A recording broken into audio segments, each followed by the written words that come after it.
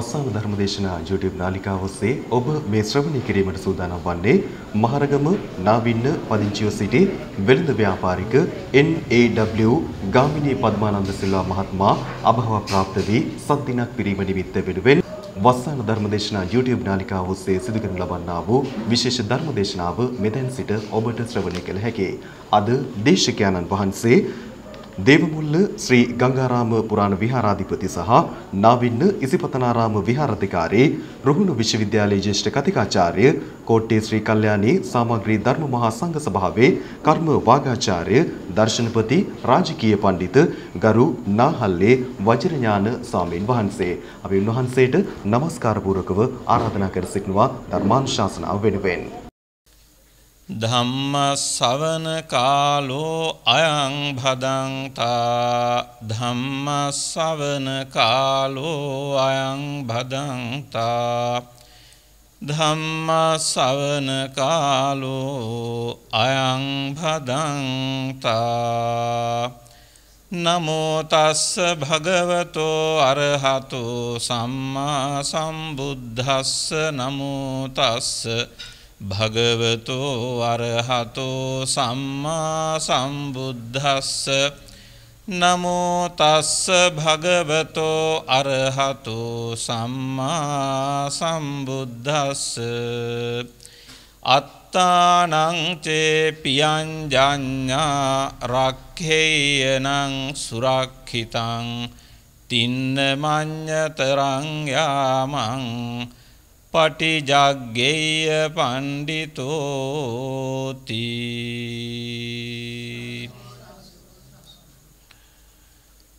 සදහැවත් වාසනාවන්ත පින්වතුනි ගුණවත් ස්වාම්පුරුෂයකුගේ නික්මයාම එවගේම සෙනෙහෙවත් පිය කෙනෙකුගේ නික්මයාම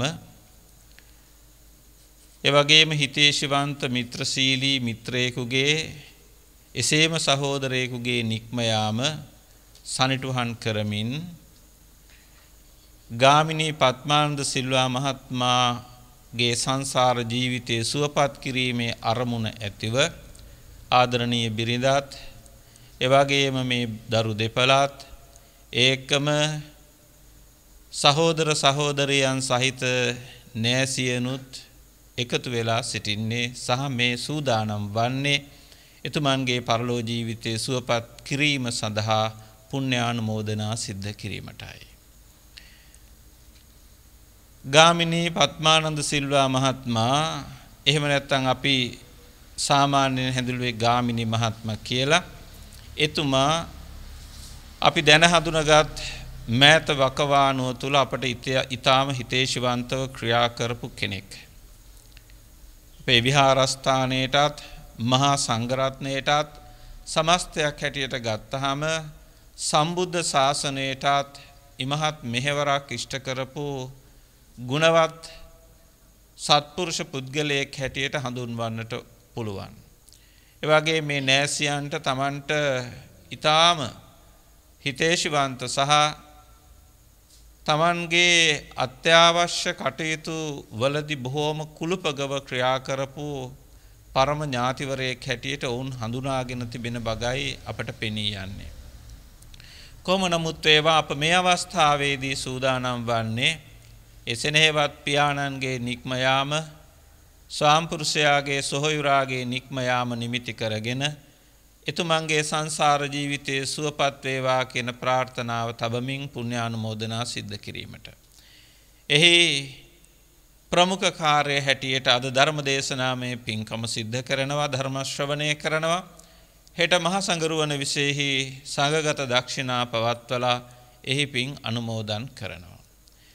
දීර්ඝ වේලාවක් මා කල්පනා කරන්නේ නැහැ ගාමිණී මහත්මයාගේ ගුණානුස්මරණය සිද්ධ කරමින් බොහෝ දේවල් කියන්නට.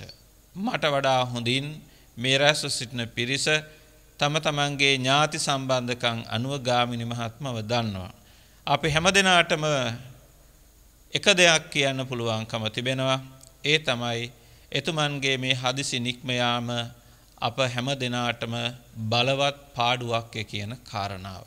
නොඑක් නොඑක් අතින් බැලූ කල එතුමන් සමාජයට වටිනා කෙනෙක් ඒසේ වුවත් පුද්ගලයෙකුගේ වටිනාකම් දැනවුගත්කම් ධනවත් බලවත්කම් ඒ කීර්ති ප්‍රශංසා උස් මහත්කම් මේ කිසිවක් මාරයාට වලංගු නෑ. මාරයාට පුද්ගලයෙක් තවත් ගොදුරක් පමණයි. ගාමිණී මහත්මා මාරයාගේ ගොදුරක් බවට නොම් පසුගේ දවසක පත් වනා. පිනවත්න මේ කාරණාවත් පදනම් කරගෙන මා කල්පනා කළා අද ඊට අනුරූපී වන ආකාරයේ ධර්ම දේශනාවක් සිද්ධ කළොත් හොඳයි කියා. මේ ඇත දහමට ලැදී මේ හැම කෙනෙක්ම පාහේ මහා සංඝරත්නය ආශ්‍රය නිශ්‍රය කරන දැනවගත් කෘතහස්ත මහා සංගරුවනගේ ආශ්‍රයෙන් ධර්මය ලබන ධර්මය අසන එවගේ මේ උපදෙස් මත ක්‍රියා කරන පින්වතුන් නිසා දිග විස්තර අනුශාසනා හැටියට කළ යුතු වන්නේ නැහැ. මගේ ප්‍රස්තුත මාතෘකාව උනේ තථාගතයන් වහන්සේ අත්වග්ගේ දේශනා කරනවා තානංචේ පියං ජඤ්ඤා රක්ඛේයනං සුරක්ඛිතං තින්නමඤ්ඤතරං යාවං පටිජග්ගෙය්‍ය පඬිතෝ කියලා. ඒක තමයි මගේ මාතෘකාව. මොකද්ද මේ භාග්‍යවතුන් වහන්සේ සඳහන් කරන කාරණාව? අත්තානංචේ පියං ජඤ්ඤා තමාට තමා කැමතිනම් තමාට තමා කැමතිනම් ආදරේ නම් ප්‍රිය නම් රක්හෙය්‍ය නම් සුරක්ෂිතං තමාව පරිස්සම් කරගන්නට ඕන. මේ දවස්වල ඒකන මේ කියන්නේ නේද? මුඛ වඩන් දාන්නේ කියලා කොච්චරවත්. තමාට තමාව ආරක්ෂා කරගන්න භාග්‍යවතුන් වහන්සේ සඳහන් කරනවා ක්‍රමවේදයක්.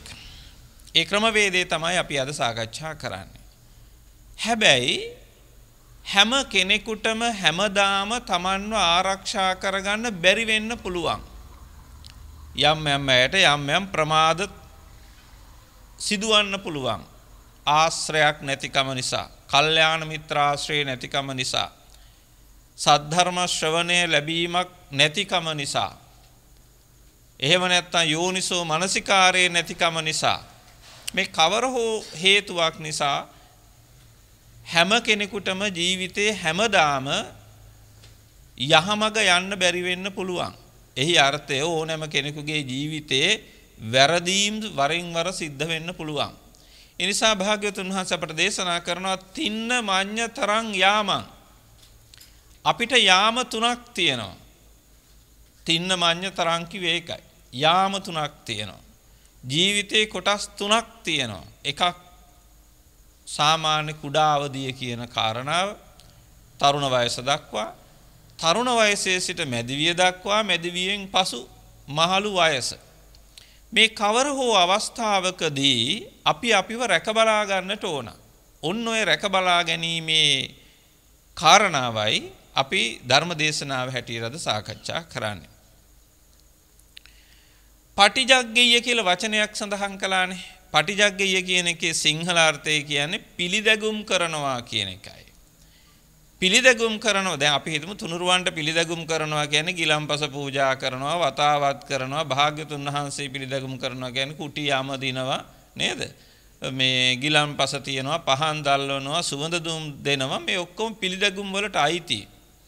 තමාව තමා තමා විසින්ම තමා පිළිදැගුම් කරගන්නවා කියන එකෙත් සාමාන්‍ය අර්ථය වන්නේ නාන කවනවා පොවනවා පීරනවා අතුල්ලනවා පරිස්සම් කරගන්නවා ආරක්ෂා කරගන්නවා මේ ඔක්කොම ওই පිළිදැගුම් කියන වචනය තුල තියෙනවා. එතකොට දැන් මේ කියන්නේ තමාව තමා විසින්ම පිළිදැගුම් කරගත යුතුය කියන කාරණාවයි. එතකොට ඒකට භාග්‍යතුන් වහන්සේ අපට දෙනව අවස්ථා තුනක් තින්න මඤ්ඤ තරං තින්න මඤ්ඤ තරං අවස්ථා තුනක් දෙනවා. ඒ අවස්ථා තුනෙන් එකකදී හෝ තමා තමාව ආරක්ෂා කරගන්නට ඕන. මේක තමයි මාතෘකාව. ඊළඟට පින්දීම ගැන වචනයක් සඳහන් කරන්නට ඕන. අපි හැමදෙනාම එකතුනේ ගාමිණි මහත්තයට පින් දෙන්න. තාත්තට ස්වාම්පුරුෂයට සොහොයුරාට ඥාතියට පින් දෙන්න. ඇයි අපි පින් දෙන්න කියන කාරණාව පින්දීම සඳහා රැස්වන ඇත්ත දැනගෙන ඉන්නට ඕන. අපේ රටේ තියෙන දෝෂයක් තමයි බණගෙවල් ඕන තරම් තියෙනවා. බණගෙවල් තිබුණට මිනිස්සු පින් දෙන්න යන්නේ අඩුවෙන්.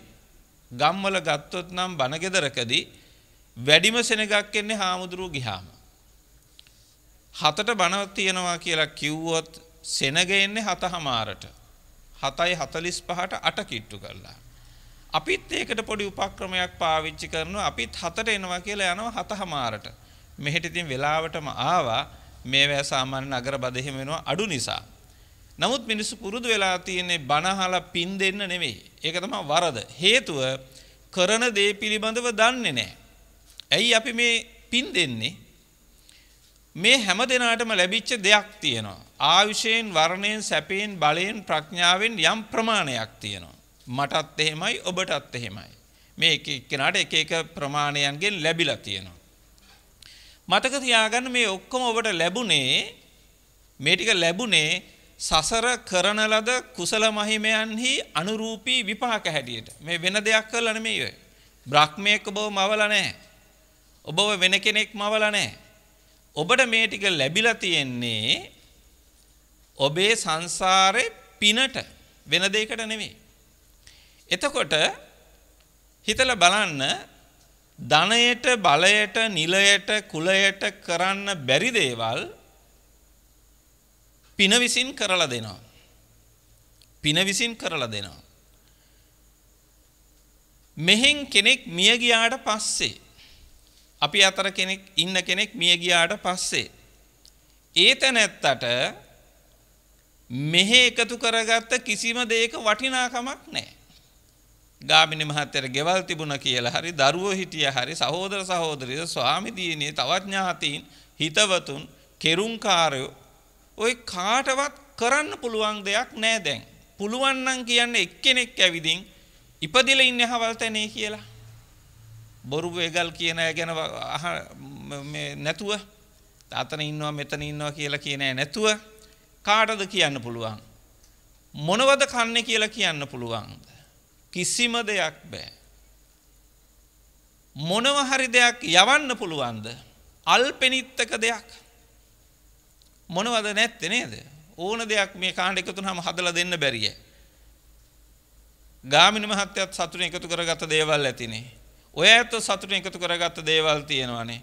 පන්සල් වලත් එහෙම තියෙනවානේ. මට පුළුවන් ද තෑග්ගක් මේක යවන්න කියලා දෙන්න? අපි කාටවත් බෑ. කිසිම දෙයක් දෙන්න බෑ. පින්නතුනි අපි සාමාන්‍ය භාෂාවේ කියනවානේ අපි විපතකට පත්වෙච්ච වෙලාවක අප ළඟට එන කෙනායි අපේ පරම මිතුරා කියලානේ the friend in need is the friend indeed කියලා කියමනක් තියෙනවානේ. අපි විපතට පත්වෙච්ච වෙලාවේදී අපි ළඟට එන මිතුරා තමයි පරම මිතුරා. දැන් ඇත්තටම අපේ අපෙන් මිය ගිය මිය යන ඥාතීන් ඛේදනීයතම අවස්ථාවට පත්වන අවස්ථාව තමයි මරණයට පත්වන අවස්ථාව. කිසි කෙනෙක් නැහැ. පාරේ වැටිලා හිටියොත් කවුරු හරි ඉස්පිරිතාලයකට අරන් යනවා. තව කොහොම හරි මේ රටේ පොඩ්ඩක් ಗುಣධර්ම වල යන්තම් පනනල රැකිලා තියෙනවා. සමහර අවස්ථා එසේ නොවුනත් තාම මිනිස්සු එකතු වෙලා අරන් යනවා.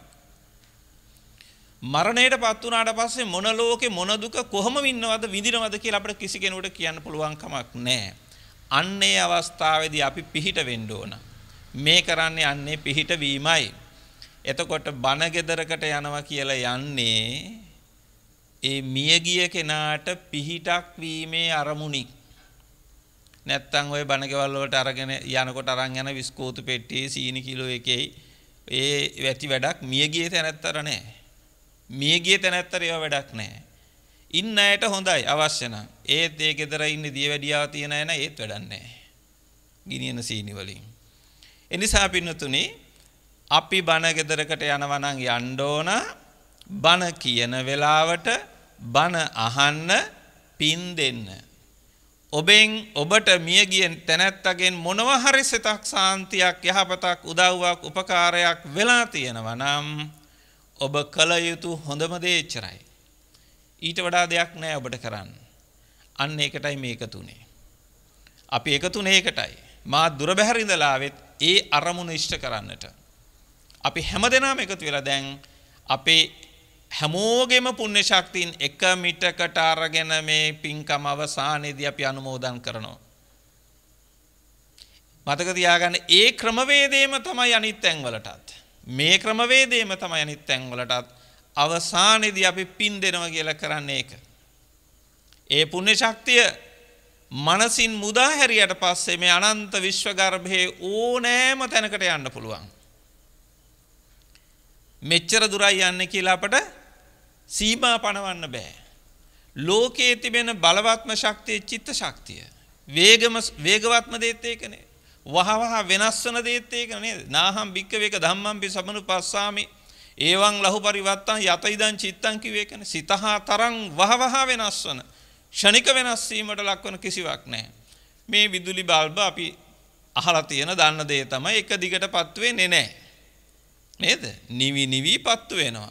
නිවි නිවි පත්තු වෙන කාර්යාවලිය කොපමණ වේගවත්ද කියනවා නම් අපට ඒක අඛණ්ඩව ආලෝකයේ සපයනවා. අඛණ්ඩව ආලෝකයේ සපයනවා. පුංචි කාලේ අපි ගිනි පෙරලි හවසට කරකවනවා. දැන් ඉතින් ගෑස් ලිප් නිසා ගිනි පෙරලි දන්නේ නැහැ පොඩි අය. නමුත් අපි හවසට ඉස්සර ගිනි පෙනෙල්ලක් අරගෙන කරකවනවා අඳුරේ. එතකොට අපට පේනවා ගිනි වලල්ලක්. දැන් උනත් හඳුන් කූරක් කරකෙව්වත් ඒකම තමයි. හැබැයි ගිනි වලල්ලක් නෑ තියෙන්නේ ගිනි පෙනෙල්ලක්. කරකවන වේගය අනුව එක වලල්ලක් හැටියට පේනවා. ආලෝකයත් එහෙමයි. ආලෝකයේ සපයන විදුලි බුබුලේ තත්ත්වයක් පහනේ තත්ත්වයක් ඒකයි. පහන නිවි නිවි පත්තු වෙනවා. කොපමණ වේගයෙන්ද අපට පේන්නේ අනවරතයනේ දැල්ල පත් වී තිබෙනවා. පින්නතුනි ඔය කියන වේගයට වඩා ඔය කියන වේගයට වඩා ඉක්මනට වඩා වහ වහා වේගයෙන් ක්‍රියාත්මක වන ශක්තියක් චිත්ත ශක්තිය කියලා කියන්නේ. සිතෙහි ශක්තිය කොපමණ වේගවත්ද කියලා කියන්න උදාහරණ නැහැ. භාග්‍යතුන් වහන්සේ කියන්නේ ඒකනේ නාහං ඒක ධම්මම්පි සමුනුපාස මට මගේ මගේ සර්වඥතාක් සර්වඥතාක් ඥාණයෙන්වත් එහෙම දෙයක් පේන්නේ නැහැ. අපි අපේ සාමාන්‍ය භාෂාවෙන් කියනවා නම් අපි ආලෝකයේ වේගය තප්පරයට සැතපුම් 1,86,000ක් කිලෝමීටර නම් 2,97,000ක් 3 ලක්ෂයක්ම කියමුකෝ. එපමණ වේගයෙන් ක්‍රියාත්මක වන ආලෝකයේ වේගයටත් වඩා වේගයෙන් සිත ප්‍රවේගවත්ව ගමන් කරනවා හරි මොක හරි විහිදිලා යනවා හරි මොක හරි කියන්නකෝ. කොපමණ සීමාවක් තුලද කියලා ඒතර අපිට කියා ගන්න බැරි තරම්. අපි ඉන්න කොටසට කියනවා එක සක්වලක් නෙමේක. ග්‍රහලෝක අපේ විවිධ ග්‍රහ වස්තුන් සහිත. ඒ කියන්නේ මේ ප්‍රතිසන්දි තල 31ක් සහිත එක්තරා චක්‍රවාටයක් මේක. මෙහෙම සක්වලවල් අනන්ත අප්‍රමාණවත් විශ්වයේ තියෙනවා. චූලනිකා සහස්සී ලෝක ධාතු. එතන තියෙනවා ඒ ලෝක ධාතුන් 1000ක්. දිසහස්සී මජ්ක්‍ධිමා ලෝක ධාතු. එහෙම ඒවා තියෙනවා 10 වර්ගය. 10 වැඩි කිරීම 1000. ඊළඟට තියෙනවා තිසහස්සී මහා සහස්සී ලෝක ධාතු. 1000 වැඩි කිරීම 1000 වැඩි කිරීම 1000. එච්චර ලෝක ධාතු ප්‍රමාණයක්. අපි බොහෝ විට නතර වුණා තිසහස්සී ලෝක ධාතුවෙන්. නිකමට හිතලා බලන්න භාග්‍යතුන් වහන්සේ ධම්මචක්කප්පවත්තන සූත්‍රයේදී කොහොමද කියන්නේ? අයංච දසසහස්සී ලෝක ධාතු සංකම්පි සම්පකම්පි සම්පවේදී. දසසහස්සී ලෝක ධාතුවක් කියලා කියන්නේ එතකොට හිතලා බලන්න 10 10 වෙනි බලේ. 10 10 වෙනි බලේ. සංඛාරුප්පත්ති සූත්‍රයේ තියෙනවා සතසහස්සී ලෝක ධාතු කියලා වචනයක්. එතකොට 1000 100 බලේ. හිතලා බලන්න කොපමණ ලෝක ධාතු ප්‍රමාණයක් ගැනද මේ අපේ ධර්මයේ විවරණය කරන්න. තව නූතන තාරකා විද්‍යාඥයන්ට අවුරුදු ලක්ෂ ගාණක් යාවි මේ කියන ඒවා අනාවරණය කරගන්නට. ලක්ෂ ගාණක් යාවි. එතකොට ඒ ඕනෑම තරම් ලෝක ධාතු ප්‍රමාණයක සිටින සත්වාවාස කොපමණද ඒ ඕනෑම තැනකට අපේ චිත්ත ශක්තිය විහිදුවාලීමේ හැකියාව තියෙනවා. කර හිතන්න මේ පුංචි තැනක ඉඳලා මහරගම මේ එක තැනක ඉඳලා අපි එකතු වෙලා විහිදුවාලන චිත්ත ශක්තිය මනෝ ශක්තියෙන් චිත්ත තරංග කොපමණ නම් ලෝක ධාතු ප්‍රමාණයක් ආවරණය කරගෙන ගමන් කරනවද කියලා. පින් දෙනවා කියන්නේ අපි මෙතන ඉඳගෙන ඒ කොහේ හරි ලෝක ධාතුවක අපිට අපි මේ ගාමිනී ගාමිනී ගාමිනී කියපු ශක්තිය නැත්තම් ඒ ඒ ඒ ඒ රූපකාය නිර්මාණ කරපු ශක්තිය කොතනද තියෙන්නේ? එතනට අපේ පුණ්‍ය ශක්තිය ආකර්ෂණය වෙනවා. පින් දෙනවා කියන්නේ ඕකනේ. ඒතර ඒ තැනැත්තා මේ පින අපේක්ෂාවෙන් ඉන්නවනම් අර ගුවන්විදුලි සංස්ථාවෙන් වැඩසටහනක් විසුරුවා හරිනවා. අපි ගෙදර ඉඳලා සේවය අල්ලනවා. අපි එහෙම නිස්සර කෙනෙකුට වෙන වචන තියෙනවා මම ඒව නොකිය මේ කියන්නේ සේවය හරියට අල්ල ගන්නවා. ඒ වගේ තමයි අපි මෙහෙම පින් දෙනවා. ඒ පැත්තෙන් ඥාතින් ඒ පුණ්‍ය ශක්තිය අවශෝෂණය කරගන්නවා ග්‍රහණය කරගන්නවා පින්දීමේ ක්‍රියාවලිය සාර්ථකයි. අපේ මේ කටයුත්ත ඒකයි. ඉතින් ටිකක් වැඩිපුරත් එකේ ගැන කියුණා. ඉතින් ඔන්න ඔය කටයුත්තට අපි මේ එකතුනේ. දැන් ඒකට අපි මේ බණ අහනවා. බණ අහනකොට මොකද වෙන්නේ? ලෝභය යට යනවා, ද්වේෂය යට යනවා, මෝහය යට යනවා. ලෝභ දෝෂ මෝහ යට යනවා. අලෝභ ද්වේෂ මෝහ උඩ එනවා. නිකම්ම සිත ප්‍රසන්න වෙනවා, සිත පවිත්‍ර වෙනවා, කුසල ශක්තිය නිස්මතු වෙන්න පටන් ගන්නවා. ඒ ටික තමයි අපි ඊට පස්සේ දෙන්නේ. වෙන දෙන්න දෙයක් නැහැ. ගෙවල් ඇතුළේ තියෙන පෙට්ටගම් අස්සේ තියෙන දේවල් දෙන්න බෑ. පර්ස් වල තියෙන ඒවා ඇදලා දෙන්න බෑ. ඒවා ඔය ඇතු තියාගන්න. දෙන්න පුළුවන් දේ කිසිම පාඩුවක් වෙන්නේ නැතුව දෙන්න පුළුවන් පින. දැන් අර තින්න මඤ්ඤ තරම් යාමං. මම කැමති ජීවිතේ කොටස් තුනකට බෙදන්න වෙනස් ක්‍රමයකට. ඒ වෙනස් ක්‍රමය කියලා කියන්නේ ඔබ අප දන්නවා අපිට තියෙනවා අපේ ජීවිතේ කොටස් 10කට බෙදපු දර්ශකයක්. කොහොමද කියන්නේ? පළවෙනිව තියෙන්නේ බාල දශකය. නැත්නම් මන් පොඩි කුඩා කාලේනේ. බාල දශකේ, මන්ද දශකේ හරි මොකක් හරි කියන්නේ. ඊට පස්සේ තියෙනවා කිඩ්ඩා දශකය. ඊට පස්සේ තියෙනවා වන්න දශකය. ඊට පස්සේ බල දශකය, පඤ්ඤා දශකය. එහෙම නේද? මේ හායන දශකය, පබ්බාර පවංක සයන මොමූහ සයන මේ විදිහට අපේ මේ දසකට යනවනේ. ඕකෙන් කොටස් තුනකට බෙදාගෙන අන්තිමේව ගැන ගොඩක් දෙනෙක් එච්චර උනන්දු නැහැ හාමුදුරනේ අපි ඉතින් ඔය 80 90 ගණන් කප් ගහනය නෙවෙයි කියලා අතහැරලම දානවා. ඒ වුණත් අපි 100ටම දාමුකෝ. 100ක්ම කරමුකෝ මේක. 100ක් කරගත්තාට පස්සේ මුලින් තියෙනවා දශක දෙකක්. මේ බෙදන හැටි මම ඔබට ඔබට කියා දෙන හැටි. පළවෙනි දශකයේ කුඩා කාලය අවුරුදු 10 ඊළඟ දශකය කිඩ්ඩා ක්‍රීඩා කරමින් වැඩෙන කාලේ කිඩ්ඩා දශකය දශක දෙකයි. අපි ඒ 20 එක පැත්තක තියමු. ඊළඟට තව 40ක් අනිත් පැත්තට තියන්න ඊළඟ කොටසට ඒකේ තියෙනවා වන්න දශකයේ තියෙනවා බල දශකයේ තියෙනවා පඤ්ඤා දශකයේ තියෙනවා අර මේ හායන පැත්තත් ඒ දශකයේ දාමු එකට. එතකොට 60ක් පිරෙනවා. ඊටු ටික අනිත් පැත්තට දාගන්න. දැන් ජීවිතේ බෙදලා අවසානයි කොටස් තුනකට. මේ කොටස් තුන තමයි බුදුහාමුදුරුව අපට දේශනා කරන්නේ පරිස්සම් කරගන්න. කුඩා කල බැරි වුණොත් ඊළඟ අවස්ථාව. ඊළඟ අවස්ථාව බැරුණොත් ඊළඟ අවස්ථාව කියන තුන් අවස්ථාවෙන් කොයි වෙලාවෙ හරි ඔබව පරිස්සම් කරගන්න ඕන. මොකද්ද පරිස්සම් කරගන්නවා කියන්නේ? සබ්බ පාපා සකරණ. පව් නොකර ඉඳීම. කුසලස්ස උපසම්පදා කුසලෙහි යෙදීම. සචිත්ත පරියෝදපනං සිත තැන්පත් කර ගැනීම, දමනය කර ගැනීම, ආණ්ඩු මට්ටු කර ගැනීම. සිත දමනය කර ගැනීම. ඔය කාරණා තුන ඔය කවර හෝ අවස්ථා තුනකින් එකකදී ඔබ කළ යුතුමයි. නැත්නම් ඔබ මේ ධර්මයේ ආස්වාදය නොලැබූ අය වෙනවා. භාගතුන් වහන්සේ සඳහන් කරන්නේ මහණෙනි නුඹ මේ ධර්මයේ උණුසුමවත් ලබා නැහැ කියලා. නේද? අපේ මේ බෞද්ධයෝ බෞද්ධයෝ කියන සමාජයේ මොන තරම් පිරිසක් ඇද්ද මේ තථාගතයන් වහන්සේගේ ධර්මයේ උණුසුමවත් නොලබපු. ඒ උණුසුමවත් නොලබා ජීවිතය අවසන් කරන කෙලවර කරන මොනතරම් මිනිස්සු ඇද්ද? ඒ මිනිස්සු අතර තථාගත ශ්‍රී සද්ධර්මයේ උණුසුම ලැබපු පුද්ගලයෝ හැටියට අපට හුස්ම හෙලන්න පුළුවන් නම් ඒ තමයි අපේ ජීවිතයේ පරම භාග්‍ය වන්නේ. ඒ සඳහායි මේ කාරණා ටික කියන්නේ. පළවෙනි දශක දෙක. පොඩි ළමයි මට පේන්නේ නැහැ එක්කෙනෙක් නම් ඉන්නා වගේ පේනවා ඊට වඩා දෙක නැහනේ. ඒතර දැන් ඔය දශකයේ ඒ අයට ඔබ ඔබේ දරුවන්ට කියා දෙන්න. මං අපේ පොඩි හාමුදුරන්ට කියා දෙන දෙයක් තියෙනවා පොඩි නමලට ඔබ වහන්සේලාට ඔය යුගයේ ආයිත් එන්නේ නැහැ. අවුරුදු අපි හිතමු අපි ඕනම් 7 8 ටික අතාරිමුකෝ 9 10 ඉඳලා ඔය ටික අරගමු 20 දක්වා අවුරුදු 12ක් මේ ලෞකික ජීවිතයේ සාර්ථක කර ගැනීමෙහිදී අධ්‍යාපනයේ ප්‍රධානයිනේ කොච්චර කතා කළත් නේද අනිත් පැත්තටත් නරක නැහැ නමුත් ප්‍රධාන වශයෙන් අධ්‍යාපනය සාමාන්‍ය පුද්ගලයෙකුගේ ජීවිතයට ප්‍රමුඛතම සාධකය.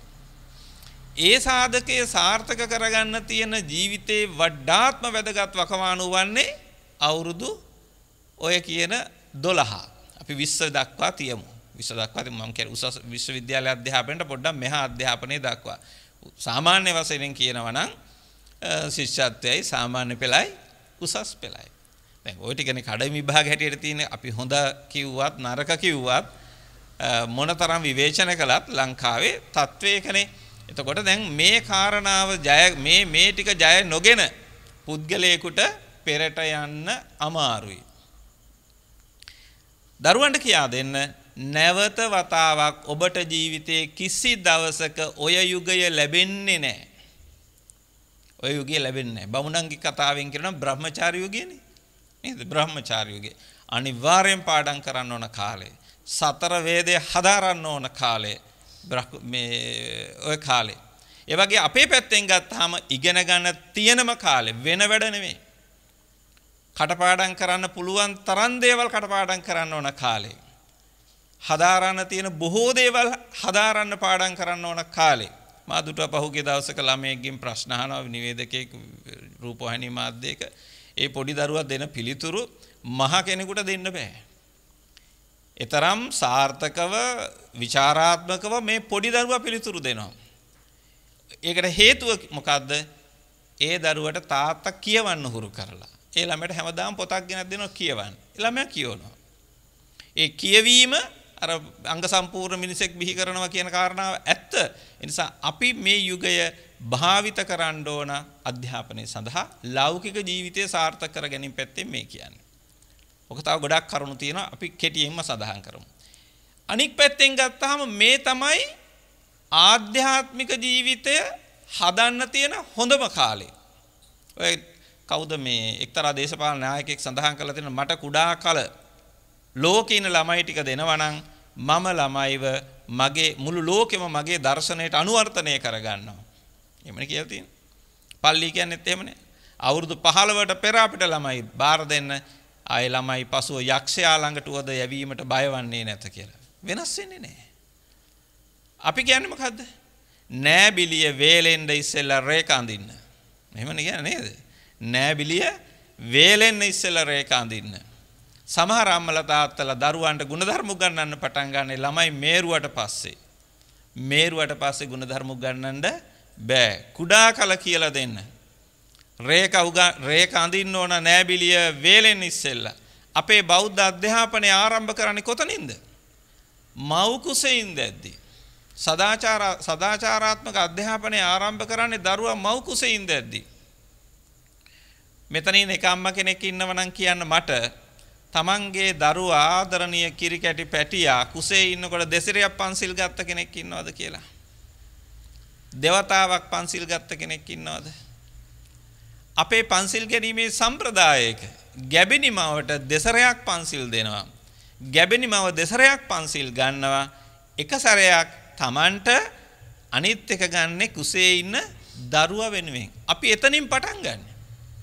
පිරිත් ඇහෙන්න සලස්සන්නේ හිතන්න යහපත් සිතුවිලි එතන ඉඳලා හැදෙන්නේ ළමයා.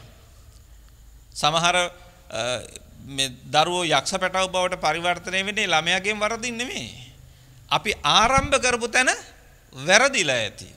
නිසා අපි එතනින් පටන් අරගෙන සදාචාර අධ්‍යාපනය දෙනවා. මුලින්ම මොනවද ළමයින්ට කරන්න කියන්නේ? ටියුෂන් යවන්න කියලාද? පහේ පන්තියට ශිෂ්‍යත්ව පාස් කරන්නද? සාමාන්‍ය පෙළද? උසස් පෙළද? නෑ. මුලින්ම ළමයාට කරන්න කියන්නේ පාපා නිවාරෙන්ති. එහෙමනේ සිගාලවා සූත්‍රය කියන්නේ.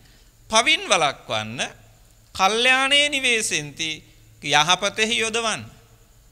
පවින් වලක්වල යහපත යොදවලා තුන්වෙනි කාරණාව තමයි සික්ඛං සික්ඛාපෙන්ති. උගන්වන්න ඊළඟට.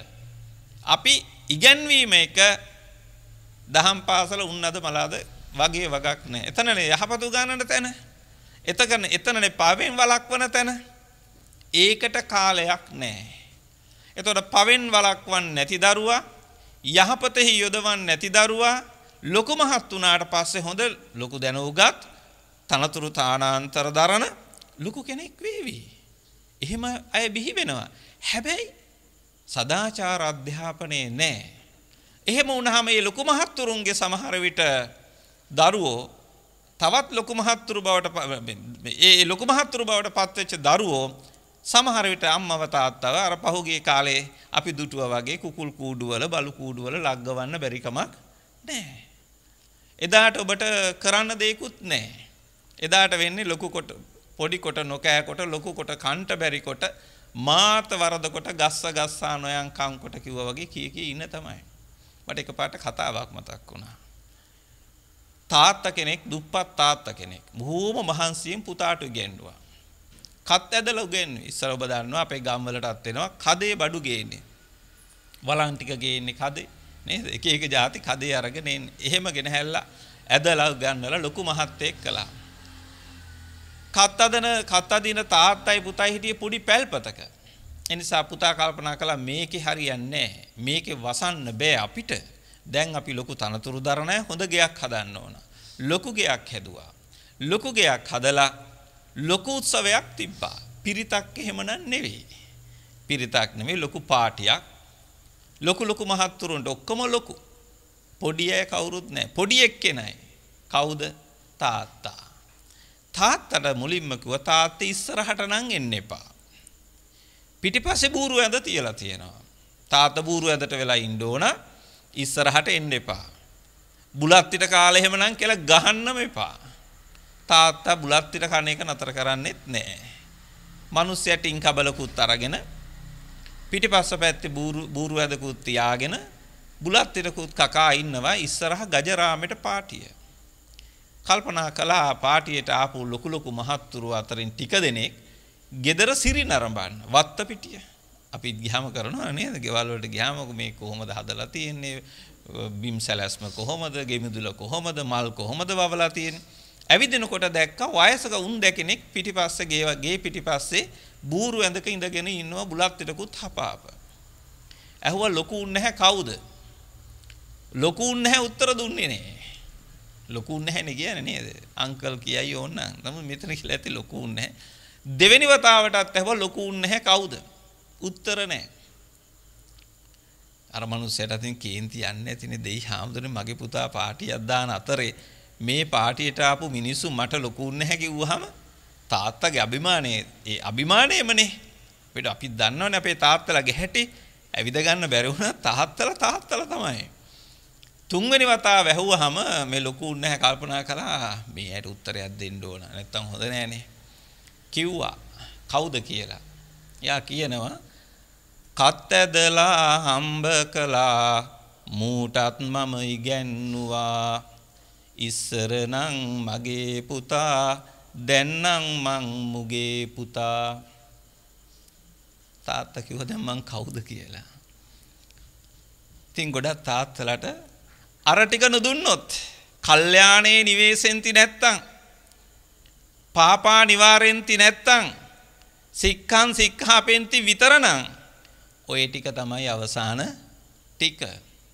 ඒකයි අර සදාචාරාත්මක භාවයත් මේ අවුරුදු පොඩි කාලෙම දෙන්න ඕන.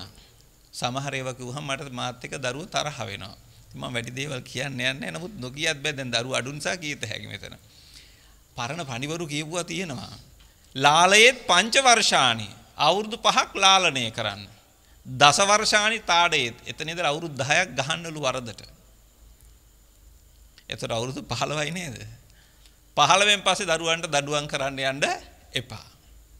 ඉන් පස්සේ කියන්නේ ඒගොල්ලෝ යාළුවෙක්ව මිත්‍රයෙක්ව ආශ්‍රය කරනවා වගේ දරුවව ආශ්‍රය කරන. එතකොට දරුවා නිසිමකට ගන්න පුළුවන්. මේ ඒ කාලේ. ඔය අපේ තියෙනවා නීති සතක කියලා පොත් නීති පොත් තියෙනවා. පාලියෙත් නීති පොත් තියෙනවා. ඒ නීති පොතක කියලා තියෙනවා මේ දඬුවම් දීමෙහි ಗುಣ තියෙනවා. ලාලනයේහි දෝෂ තියෙනවා.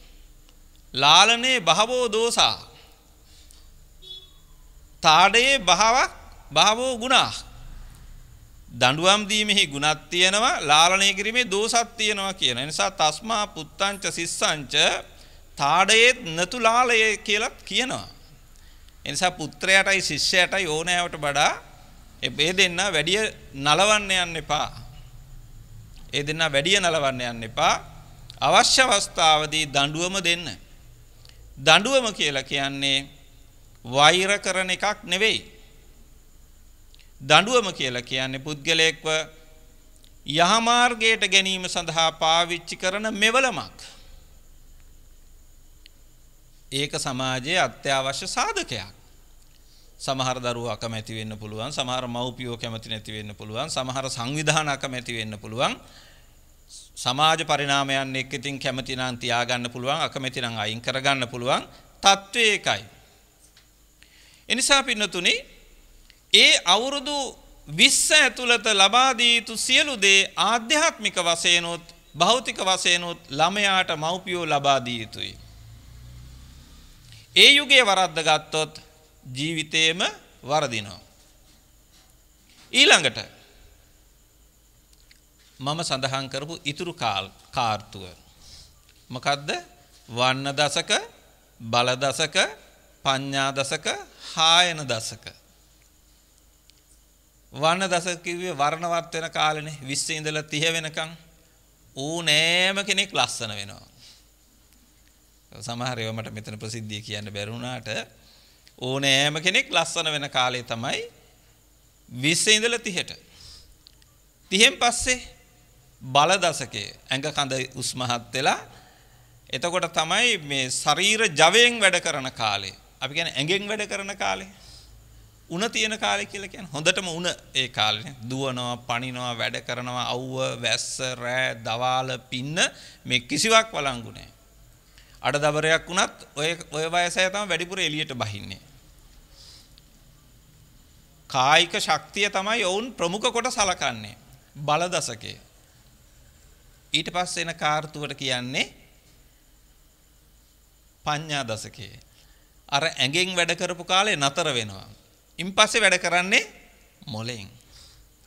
ලස්සන උපමා කතා තියෙනවා කාලේ අපිට නෑ ඒවට. ඇඟෙන් වැඩ කරනවට වඩා මොලෙන් වැඩ කරන එක වටිනවා. යස්ය බුද්ධිර් බලන් තස්ය බුද්ධිය යම් තැනකද බලය එතනයි. නිර්බුද්ධේස්තු කුතෝ බලං බුද්ධිය නැති තැන බලයක් නැහැ. එකපාරට මතක් වුණ විජමු ලොකු බණ්ඩාරයන්. වරක් එතුමා සඳහන් කළා බලය ඇති කල මොලය නැත මොලේ ඇති කල බලය නැත කියලා. ආණ්ඩුවටයි විපක්ෂයටයි කිව්වේ. අර මා සඳහන් කරපු ශ්ලෝකේ පංචතන්ත්‍රෙන ශ්ලෝකයක්. භාග්‍යවතුන් වහන්සේ ද අපට සඳහන් කරන්නේ මිනිහෙකුගේ වඩා වටින්නේ ප්‍රඥාවයි. එහෙමනේ කිව්වේ නේද? පඤ්ඤා නරාණං රතනං. පඤ්ඤා ජීවින් ජීවිතමාහු සෙට්ටං. මිනිහෙකුගේ ජීවිතයේ ශ්‍රේෂ්ඨත්වයට පත් කරන්නේ ප්‍රඥාව. ස පඤ්ඤා දශකය කියන්නේ හරිම වටිනා යුගයක්. ඊළඟ යුගය දශකය මේ අපි සඳහන් කරානේ හායන කියලා 50න් පස්සේ අපි ඔක්කොම ටික ටික ෂේ වෙනවා. කැමති වුණත් අකමැති වුණත් 50 පැනපු අය අපි තාම 50 පැනලා නැහැ. 50 පැනපු අය එමෙ හිතන්න ඕන. ටික ටිකක් ෂේ වෙනවා. නමුත් අපිට තියෙනවා ඒ යුගයේ වගකීම් ටිකක්. ওই ටික ඔක්කොම එකතු කරලා බලන්න 20 ඉඳලා 60 දක්වා මොනවද තියෙන්නේ? ওই කාලේ තමයි ඔබ ලෞකික වශයෙන් වැඩියෙන්ම දියුණු වෙන කාලේ. රැකී රක්ෂා හොයාගන්න කාලේ. ආවාහ විවාහ විස ගන්න කාලේ. දරුමල්ලෝ බිහි කරන කාලේ. ගෙවල් දොරවල් හදන කාලේ. රටේ ලෝකේ තනතුරු තානාන්තර නිලතල දරන කාලේ. එහෙම නේද? වෙහෙසිලා වැඩ කරන කාලේ. දුක දුක් විඳින කාලේ. දුක් විඳින කාලේ. එහෙම තමයි ඔය යුගයේ ඔබ ජීවත් වුනේත් මා ජීවත් වන්නේත්. අපි දෙගොල්ලන්ට වැඩි වෙනසක් නැහැ. අපි සමහරට උදේ සෙත් පිරිතට යනවා. දවල් දානෙට යනවා. හවස පාන්සුකූලෙට යනවා. රාත්‍රී බණට යනවා. බණ කියලා ආයිත් පිරිතට යනවා. ආයිත් උදේ පාන්දර ආයිත් ඒ චක්‍රය පටන් ගන්නවා. ස්වාමීන් වහන්සේ නමකගේ ජීවිතේ පොඩ්ඩක් අධ්‍යයනය කරලා බලන්න. ඒක වෛද්‍යවරුත් එහෙම තමයි දෙන. කතා කරපු ගමන් යන්න එපා. ඒ වගේ තමයි අපි තාමතුනේ තාත්තට අමාරුවේ සෙත් පිරිට් එකක් කියපු ගමන් අපි වාහනේ නගින්න ඕන. අපිට එහෙම තමයි. ඒ අපේ ජීවිතවල හැටි. ඒ නිසා කැඳ වූ වහාම සේවයට වාර්තා කරන්න ඕන જાති අතර එකක් අපි. ඒ නිසා අපි අපි අතරයි සමහර ඔබ අතරයි සමහර කාරණාවලදී වෙනසක් නැහැ. සමහර කාරණාවලදී. ඒ නිසා පින්නතර මේ යුගය එක පැත්තකින් ලෞකික වශයෙන් තමන්ටත් එවැගේම සමාජීය වශයෙන් තමන් වාසය කරන සමාජයටත් යුතුයකම් ඉටු කරගන්න ඕන කාලයක්. හැබැයි මතක තියාගන්න ආධ්‍යාත්මය අමතක කරන්න එපා. ඔය යුගයේ තම අමතකම වෙන කාලේ. ඇයි මොනවද කියන්නේ? වැඩ හාමුදුරුවනේ. හරියට වැඩ. කාලයක් නැහැ. පන්සලකට යන්න වෙලාවක් නැහැ. පිනක් දහමක් කරන්න නැහැ. බුදුරජාණන් වහන්සේගේ කාලේ හිටියත් ධනංජානි කියලා මිනිස්සෙක්. නිකම්ම නිකන් කරන්නේ මේ ටිකක් සල්ලිය භාගේ තියෙන රාජකීය සම්බන්ධකම් තියෙන කෙනෙක්. සැරියුත් හාමුදුරන්ගේ යාළුවා. ධනංජානි පිනක් දහමක් කරන්නේ නැහැ කියලා ආරංචි වුණා. සැරියුත් හාමුදුරුවන්ට. සැරියුත් හාමුදුරුව ඇවිදින් ඒ බව විමසුවා. විමසුවාම ඇත්තම කිව්වා. අනේ හාමුදුරුවනේ සැරියුත් මහරහතන් වහන්සේ මාතා පිතරේ පෝසේ තබ්බෝ අම්මවයි තාත්තවයි පෝෂණය කරන්න ඕන. පුත්ත ධාරයේ පෝසේ තබ්බෝ දරු අරේයන් කියනවා මෙහෙයන් කියනවා නෝන අරේයන් කියනවා මෙහෙයන් කියනවා ඒවැ මේවැ යන්න ඕන පෝෂණය කරන්න ඕන.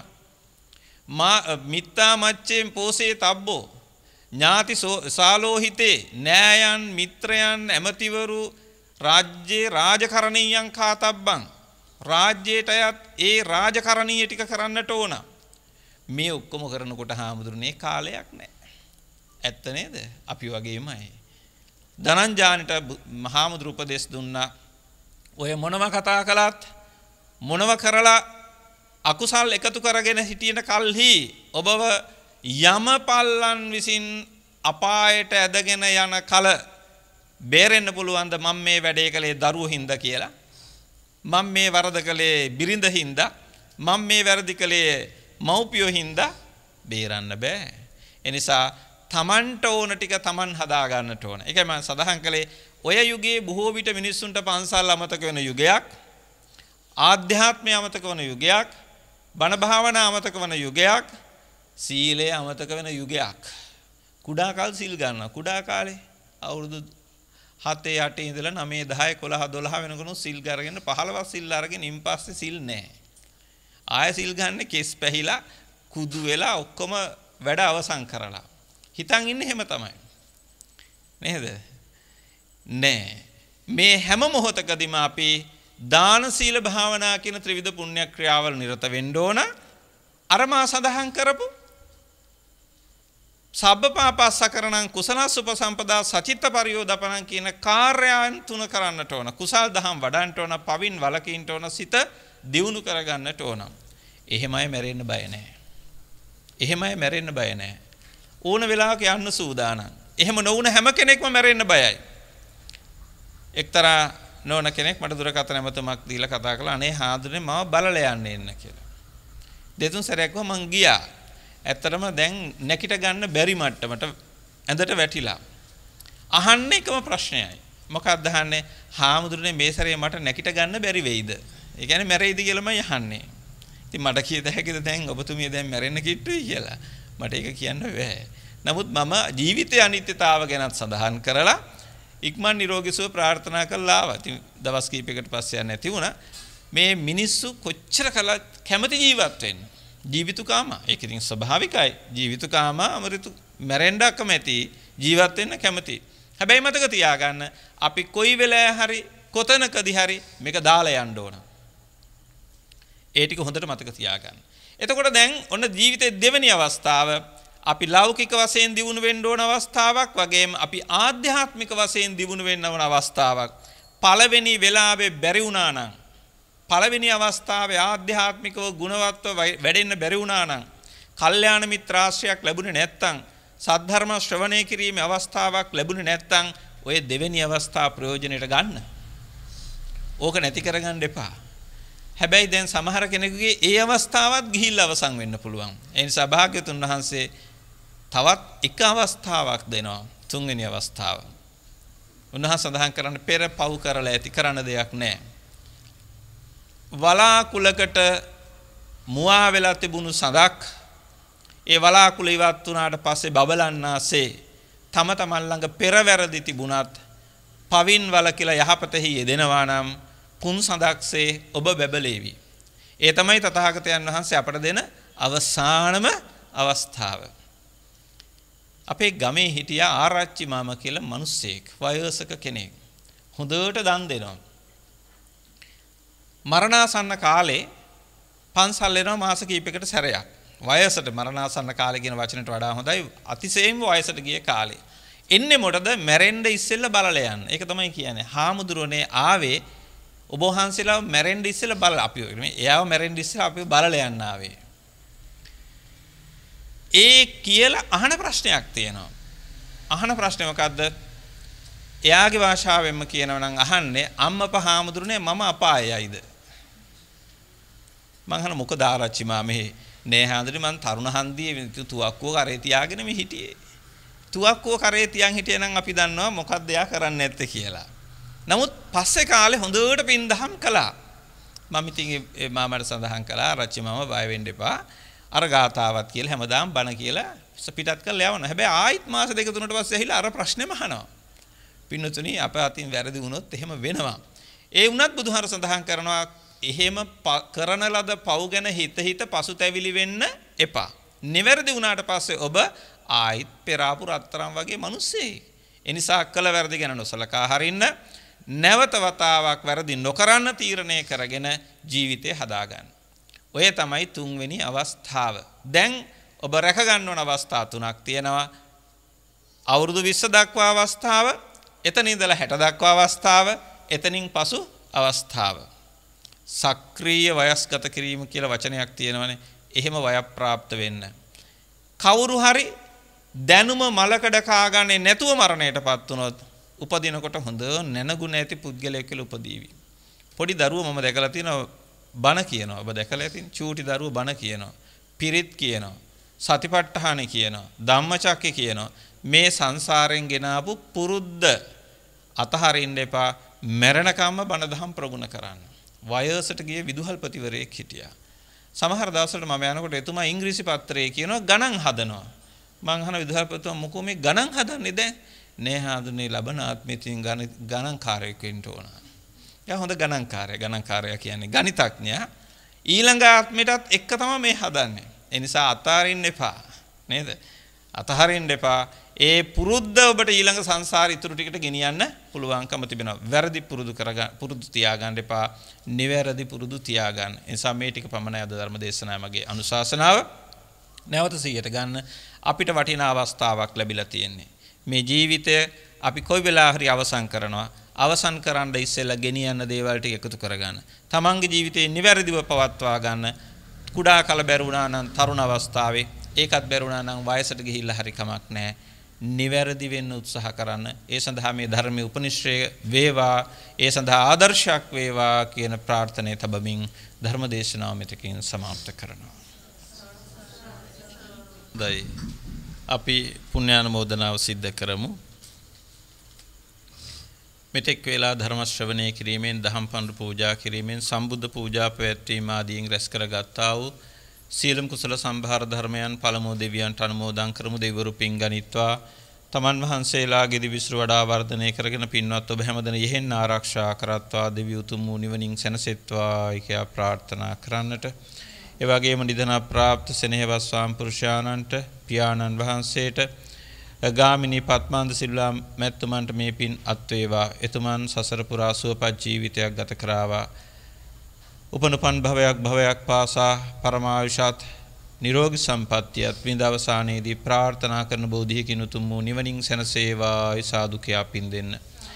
යම් තාක් නැසී ඔබ සියලු දෙනා නමින් අභාවයට පත්වැත්නම් ඒ හැම දෙනාමත් මානමින් නිදන ප්‍රාප්ත මව්පිය ආදීන් ඇතුළු හැම දෙනාමත් පින් ගනිත්වා සියල්ලෝ සසර දුක් නසා උතුම් නිවනින් සැනසෙත්වා සාදු කියා පින් දෙන්න. ඔබට මට මේ කුසල ශක්තියින් සසර දුක් ගිනි නිමා කොට ලබන අමා මහ නිවනින් සැනසීම පිණිස පවතිවා සාදු සිතින් ප්‍රාර්ථනා කරන්නට. දෙවියන්ට පින් දෙමු. ආකාසට්ඨා ච බුම්මට්ඨා දේවානාගා මහිද්దికා පුඤ්ඤන්තං අනුමෝදිත්වා චිරං රක්ඛන්තු ලෝක සාසනං ආකාසට්ඨා ච පුඤ්ඤන්තං අනුමෝදිත්වා චිරං රක්ඛන්තු ලෝක සාසනං ආකාසට්ඨා ච බුම්මට්ඨා දේවානාගා පුඤ්ඤන්තං අනුමෝදිත්වා චිරං රක්ඛන්තු ලෝක සාසනං ධර්ම ශ්‍රවණේ කිරීමෙන් ආදහම් පන්ර පූජා කිරීමෙන් රැස් කරගත්තා වූ සියලුම කුසල සම්භාර ධර්මයන් දෙවියන්ටත් මියගිය ඥාතීන්ටත් ඔබ අප හැම දෙනාටමත් උතුම් වූ නිර්වාණ ශාන්තිය පිණිසම හේතු වේවා. වාසනාව වේවයි සිතා චිත්ත ප්‍රීතියෙන් යුක්තව සාදර සිතින් පින් අනුමෝදන් විය යුතුය අභිවාදන සීලිස්ස නිච්ඡං බුද්ධාපචායිනෝ චත්තාරෝ ධම්මා වඩ්ඩಂತಿ ආයුවන්නෝ සුඛං බලං. ආයුරාරෝග්‍ය සම්පatti සග්ග සම්පatti මේවච අතෝ නිබ්බාන සම්පatti. ඉමිනාතේ සමිජ්ජතු. ඔබ ඒ ශ්‍රවණය කරනු ලැබුවේ නාවින්න මහරගම පදිංචිව සිටි වෙළඳ ව්‍යාපාරික NAW ගාමිණී පද්මානන්ද සිල්වා මහත්මයා අභව ප්‍රාප්ත වී සත් දිනක් පිරීම නිමිත්තෙන් සිදු කරන ලැබූ සුමధుර ධර්මදේශනා පින්කමයි.